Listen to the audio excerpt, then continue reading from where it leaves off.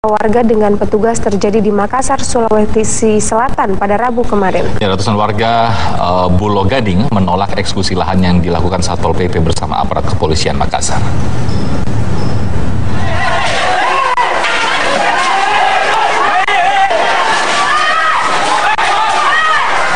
Ratusan warga Kelurahan Bulo Gading, Kecamatan Ujung Pandang dengan menggunakan anak panah atau busur beserta senjata tajam parang panjang mengejar aparat kepolisian setempat dan Satpol PP Kota Makassar saat memasuki lokasi eksekusi di Jalan Sombo Opu, Makassar.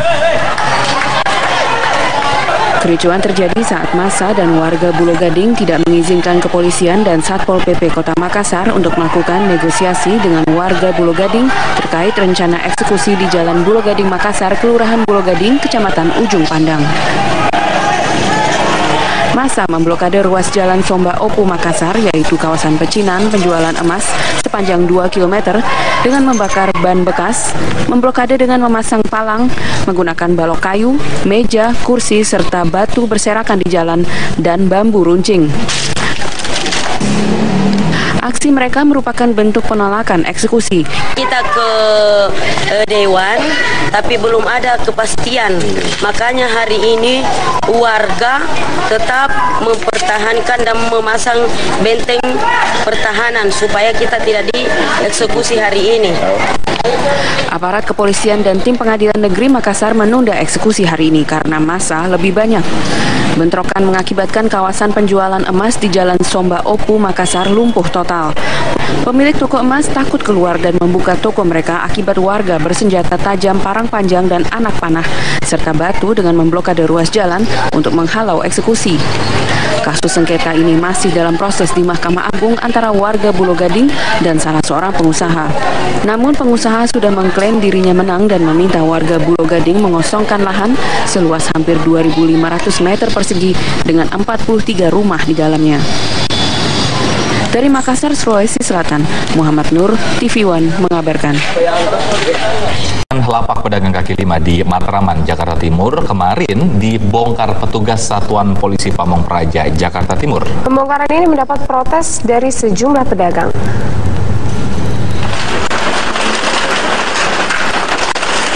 Satu persatu bangunan dan lapak pedagang kaki lima PKL yang berdiri di badan jalan Palmeriam, Matraman, Jakarta Timur dibongkar petugas Satuan Polisi Pamong Praja Rabu kemarin.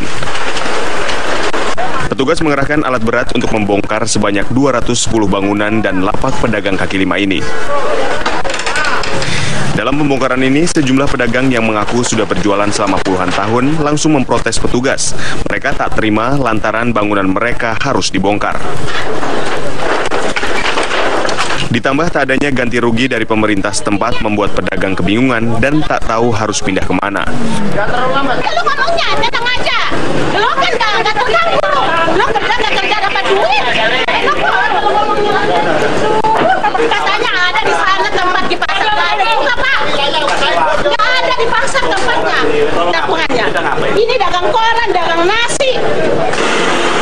Meski sempat diprotes, namun petugas tetap membongkar ratusan bangunan dan lapak PKL tersebut.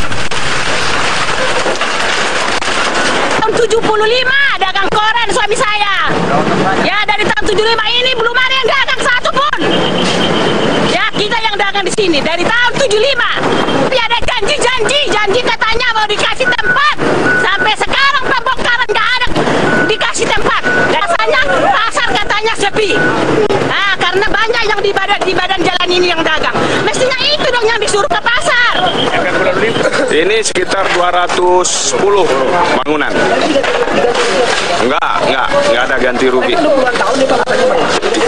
Iya, mereka memang sudah lama berdagang di sini, tetapi memang kita juga sudah sosialisasi untuk mereka pindah ke pasar.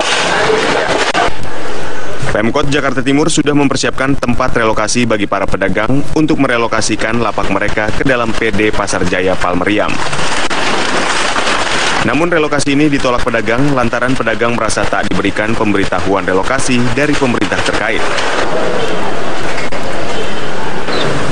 Dari Jakarta, Simon Tobing, TV One mengabarkan.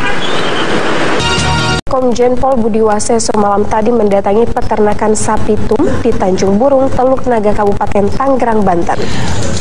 Kabar Eskrim mengecek langsung stok daging sapi di peternakan tersebut. Disertai uh, sejumlah petugas Bareskrim Mabes Polri, Komjen Pol Budi Waseso mengecek ketersediaan daging sapi yang harganya saat ini melambung.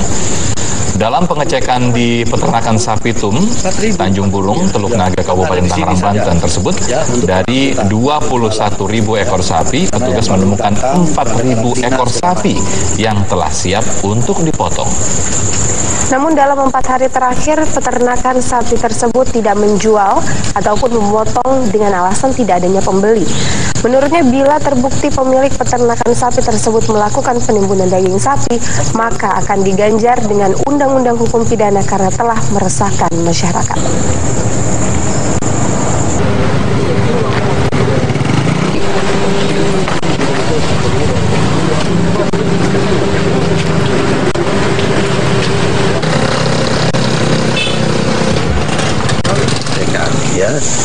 Nah, dari dua tempat pengecekan ini secara keseluruhan kita menemukan jumlah sapi yang ada di tempat ini adalah 21.993 ekor.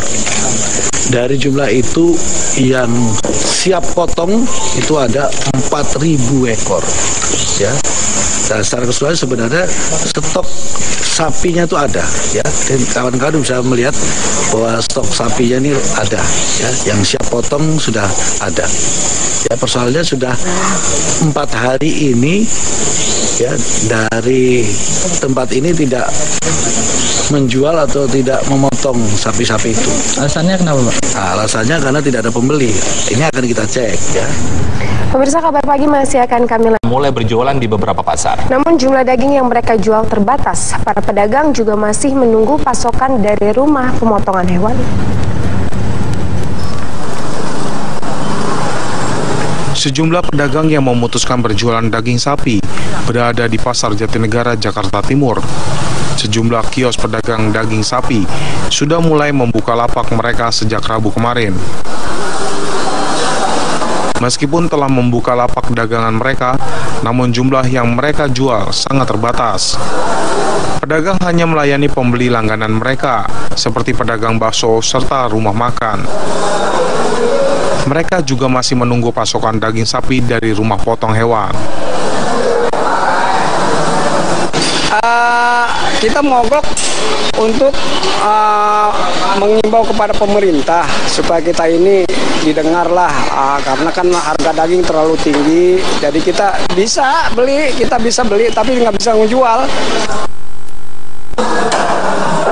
Aksi mogok para pedagang daging sapi telah memasuki hari keempat. Terhambatnya pasokan daging sapi ke pasaran membuat harga daging sapi meroket lebih dari Rp100.000 per kilogramnya. Dari Jakarta, Dwi Suci Amalia, Ihsan Sahri, TV One mengabarkan.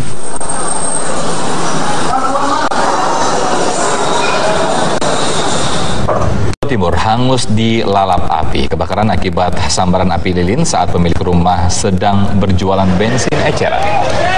Kebakaran ini terjadi di rumah milik Bahono yang berada di lingkungan Pekayon, Kelurahan Keranggan, Mojokerto, Jawa Timur. Api dengan cepat membesar dan membakar seluruh rumah karena di rumah ini terdapat banyak bahan yang mudah terbakar. Ya, warga yang mengetahui peristiwa ini berusaha memadamkan api dengan peralatan seadanya. Warga kemudian semakin panik karena api sempat menjalar ke rumah yang berada di sebelahnya. Api akhirnya baru bisa dipadamkan 30 menit kemudian setelah mendatangkan tiga unit mobil pemadam kebakaran dari Pemkot dan Pemkap Mojokerto.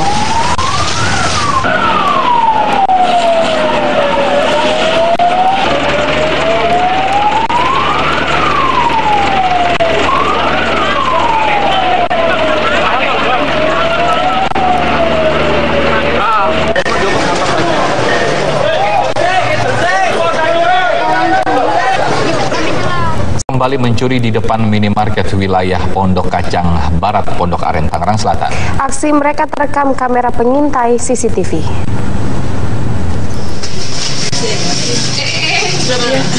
Pencurian di depan minimarket di wilayah Pondok Aren, Tangerang Selatan, Banten kembali terulang.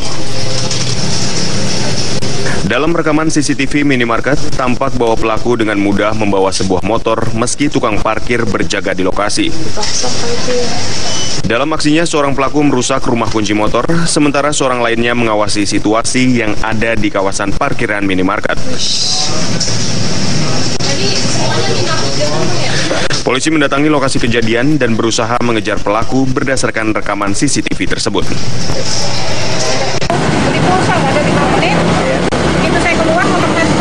Udah nggak ada. Isi dalam motor apa aja bu? Isi dalam motor. Itu apa namanya? HP sama kunci rumah. Motor saya juga pernah hilang di sini. Motor Ninja. Baru 10 hari udah kejadian. Uh, kalau gitu sih uh, udah saya saya datang langsung saya gembok, langsung saya kerja. Uh, ciri-cirinya itu orang uh, enam orang. Kejadian pencurian sepeda motor ini sudah ketiga kalinya di kawasan Pondok Aren. Polisi terus mengejar para pelaku spesialis pencuri motor di wilayah Pondok Aren. Dari Tangerang Selatan, Banten, Iksan Bakti, Milhan Wahyudi, TV One mengabarkan.